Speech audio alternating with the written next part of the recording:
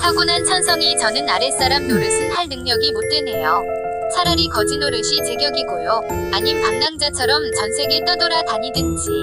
아님 외진 산골 들어가서 자급자족. 바로 대통령이 되든지 총무원장이 되면 능력 발휘가 가능하지만 대통령 되기 위해 조계종 총무원장 되기 위해 밑에서부터 차근차근 실력 쌓은 손을 비비든 해서 올라가는 건 능력 부족이요. 스무 살때 대통령 돼서 최소 25에서 30년 정도 직을 유지해야 내가 계획한 뭔가를 할 수 있겠다 생각 들었는데 그래서 20대 중후반에는 무조건 되어야죠.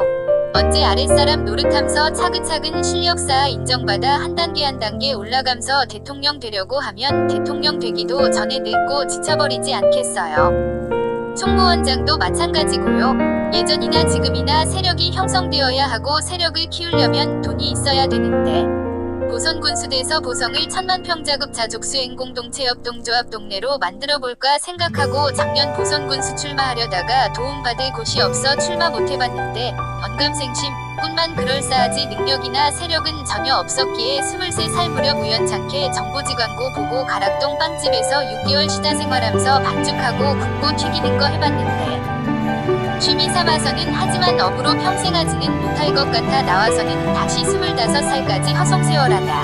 군대 한 바퀴 돌고 들어와서 TV 켰는데 주성치 주연의 서유기 영화 보고서는 절이나 함 가볼까 생각 들어 다음 날로 보성 대원사 가니 큰절로 가는 게 좋겠다고 해서 어디 큰절로 가면 되냐고 물어보니 송광사 가라고 해서 다음 날로 송광사 가서 행자생활 거쳐 스님 되었네요. 행자 생활이 군대와 비슷한 점이 있어 한 시간이라도 먼저 오면 상행자가 되는데 제가 들어오고 나서 한 달 정도 되니 밑으로 10명 넘게 와서 편하게 행자 생활 보냈고요. 군 신체 검사에서도 5급 판정 받아 완전 면제, 완전 신이 아들이네요. 복 많은 인생이고요.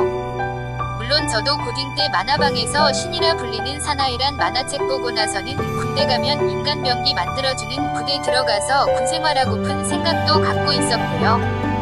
거기에 보태서 대통령 되면 낮에는 청와대에서 활동하고 군대의 초절정 인간병기가 될 수 있게 훈련시켜 전세계 지하 조직을 장악 후 밤에는 지하 조직의 대부가 되어 낮에 처리가 안 되는 건 밤에 처리하려는 상상에 빠져서 세속의 삶을 전개해 나갔고요.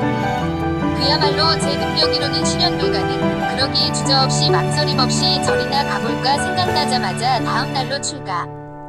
처음에 멋모르고 중노릇했는데 생활에 나가다 보니 제가 뜻했던 바가 절에서 다 실현되었네요. 그래서 그런지 지금에 와서는 뭔가 더 하고 싶고 갖고 싶고 해야 되는 그 무언가가 더 이상 생기지 않네요. 할 필요성도 느끼지 못하겠고요. 오로지 한 가지 아라한과 증득 후 더 이상의 남이 없는 거 말고는요. 인생이란 게 삶이란 게 참으로 요상망상해서 히히 나무석감